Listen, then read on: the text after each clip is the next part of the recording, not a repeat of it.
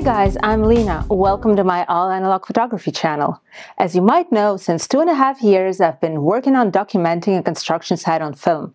I've done another beautiful construction site before and had a book published. I will leave the link for it below this video. This time I decided to take things further and got the idea of collecting pieces of concrete on the construction site, coating them with liquid emulsion and printing my photographs on them. I've been publishing quite a few Instagram reels about it and was getting so many questions about the process that I decided to make an extensive technical video talking about printing on concrete. For those of you guys who watched my video about liquid emulsion and fabric, this one might have some repeating points, but also hopefully new ones. For those of you who are here to try printing on concrete or any other tricky surfaces, watch my Instagram highlights called fails and get ready for some of your own. I knew the process. I watched some videos. I read a smart book and I read also a few articles and still messed up so much. You either have to be morally ready for some frustration or not do it at all. Or you can just not be an obsessive perfectionist. That also helps. I was using the Polywarmtone emulsion from Adox and you can use any of your choice. The principles are the same. Just the one I used has a nice warm tone. Another good thing about the Adox line of products, they're offering everything from photo grade gelatin, which you will need as a base, to a hardener, which can be bought separately. First, let's talk about the surface for your print. I was only collecting cement pieces with a flat side. You don't have to polish your objects perfectly, but they have to have no spiky elements and no super tiny bumps. Otherwise, you will get bubbles like this one, which is very cute, but super impractical. If you're printing on something gray, then you will need some white paint as a base. I'm using something that I got from a building supply store in Italy. Stuff that you get in other countries might be very different. What's important is that the paint that you choose dries fast. You don't want to spend days on just the base and it needs to have a matte finish. But even the matte finish doesn't guarantee much.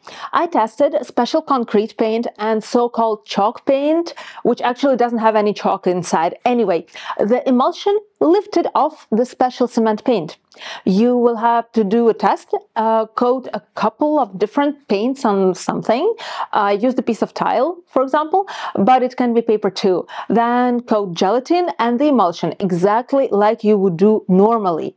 So I took out a tiny piece of emulsion and melted it in a jar in daylight and coated in daylight too. So you don't need to obsess about all this like uh, light isolation, you know? And then I went through all the steps of the processing, developer, hardener, fixer under normal light just to see where the emulsion lifts or not. Uh, that's my test from a year ago when I coated everything under red light and exposed properly. Now I'm smarter and I do everything in daylight without any extra trouble. And so that's my adhesion test and it works. So I guess this is where we start. Pure gelatin as the first coat. There are different kinds. I once ordered allegedly purified gelatin and when it arrived, I was shocked. It was brown. Mixing it was as bad as I expected. It was stinking horribly.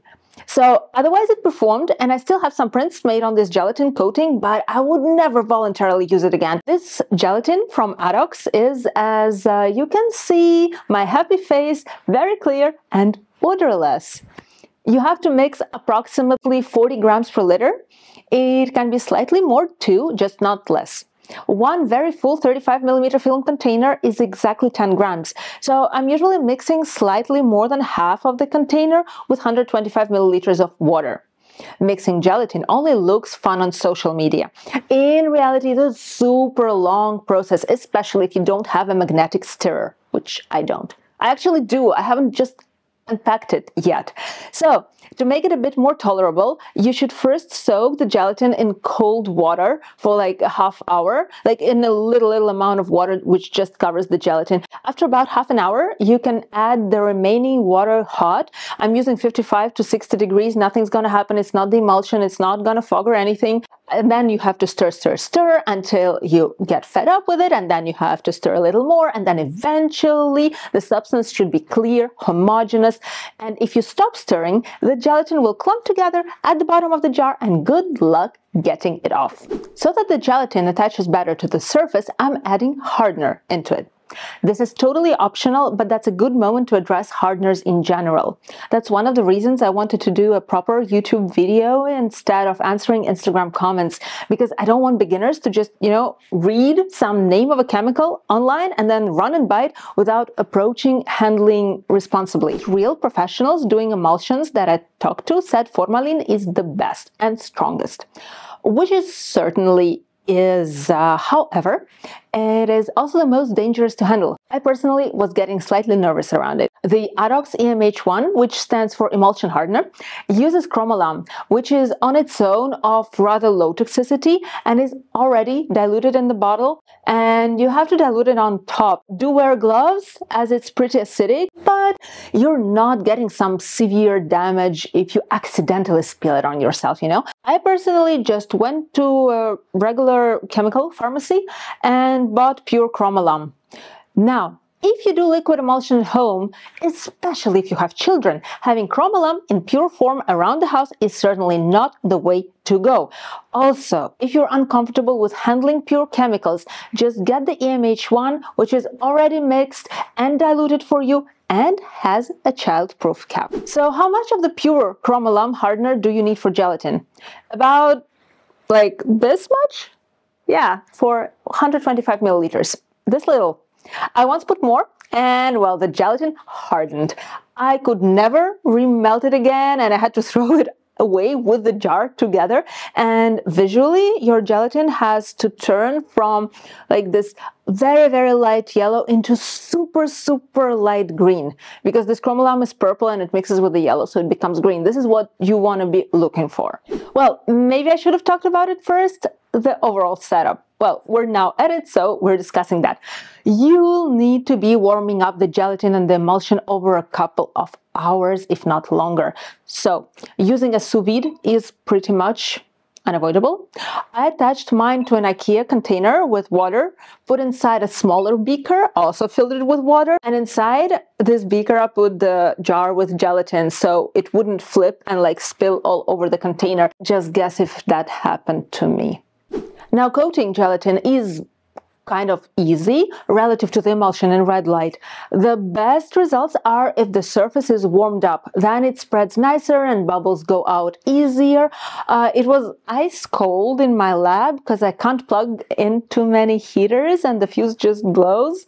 So I used the one heater to warm up my concrete and the rest was like ice cold. I was freezing. What wouldn't you do for art, right? You might not need this setup if your room is reasonably warm. The coating has to be as thin and even as possible. Just practice, practice, practice, and you'll get a hold of it. I can give you all the advice in the world, but nothing, nothing will replace learning through mechanical repetition over and over again while I was doing the two gelatin layers with drying in between, obviously, I was also melting the emulsion. You'll need a separate black light tight jar. I will leave a link to such a product under this video. You should not melt the entire jar of emulsion because you won't use all of it. For my 20 cement pieces with two layers each, uh, which were also used several times. I used maybe a third of the total amount, and if you remelt the emulsion too many times, it may fog. So under the red light, I just stick a knife inside the Polywarmtone jar and cut some pieces and get them out with my hands in gloves. You can just use a fork. I used the fork before, now I'm just doing it with my hands. Don't use a plastic fork because it will break. Yeah, that happened to me too. What I also learned the hard way that even if it feels like the emulsion has melted and you hear it like splashing in the jar, you should still give it like 40 minutes at least of total melting time. And once in 10 minutes, you should just gently agitate the container for like a couple of seconds, not too much, otherwise you will create too many bubbles. I did that too. The emulsion will just coat so much better when it's like truly thoroughly melted. Oh. For coating and drying, you'll need a darkroom lab or just a darkroom. There is like no way around it. This room has to have the ability to stay dark for hours with you coming in and out. Otherwise, you'll have to invent a sort of light tight drying box where your concrete or other coated objects can go into. If I had to do it, I would probably take a cardboard box and glue all over it in several overlapping layers photo paper bag material. You can buy those bags online. I'll leave the link as well. Uh, this box would have to have overlapping top and bottom to create a proper light trap, you know. So, of course, drying in such box takes much longer, but it is an option for you guys who don't have like this rotating door or any other uh, setup. Coating the emulsion is just like gelatin coating. There is no real difference. Simply, it happens under the red light. If you have a red headlamp, like I do, or a portable LED lamp, which I also do, try not to shine too directly into the emulsion, however tempting. You know, when you have this tiny little piece and it's all dark and you want to get all the bubbles and streaks out and you shine with your headlamp and boom, it's fogged. So we don't want this to happen. But you also don't have to be too paranoid, you know. The emulsion is quite slow at the beginning I was super, super cautious and kept the light at like one meter distance and I saw nothing and that's why my coating was horrible. Now I keep it like reasonable, I don't know, 30, 40 centimeters and it does not fog, it's all fine. At least the Polywarmtone emulsion, but I would assume, no, you know what, the Rollei emulsion and Foma, I think they are a little faster. So, you know, you guys have to just experiment, I guess. But it doesn't fog as easily as the paper. That's what I wanted to say. In fact, it's better not to have a lamp on you or above you, but behind the piece which you're coating. So you're kind of coating it, no, wait, like this against the light, you will see all the bubbles and streaks very well. However, bubbles, unless they're like too giant, let them be. Because even an awful perfectionist like myself gave up on this, on getting rid of all the tiny little bubbles. I gave up for now. You also should not forget to coat a couple of watercolor or any other paper with the emulsion to have test strips. We're gonna need them very soon. So after my beautiful pieces and test strips have dried, I put them into a black light tight bag and carried over to the darkroom.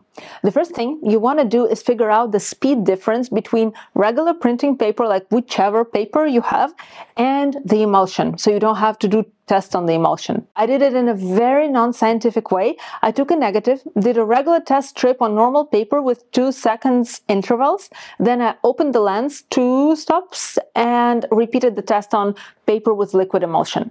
Then I looked which times are more or less similar and counted the difference. So in my case, the emulsion was six times slower, like 5.8 times slower than Ilford RC multigrade paper. But this is for me, this is for my thickness of coating, so it can be different for you guys. For example, if the perfect exposure is four seconds at f16 aperture, so then it's um, 24 seconds for the liquid emulsion at the same aperture or like six seconds at f8 aperture. So I hope you guys who are watching this know how to calculate those apertures and stops and everything. Otherwise, I might need a separate video about this, but I imagine that those of you who are doing this are already very much past the basic stuff. But I'll be happy to explain anything you wish in any other video, so leave the comments below if you want to see more of the basic explanations. Anyway, now we are slowly getting to print. No, wait, don't jump into printing too fast. You have to have several tests and repeat them a couple of times to be absolutely sure uh, that your ratio, your difference is perfect. Also, the contrast might vary on your paper and uh, on the liquid emulsion piece. Very important thing to keep in mind is that the paper is lower than concrete. So you put, should put something under the paper when doing your test strips. So this way the distance to the light source is the same.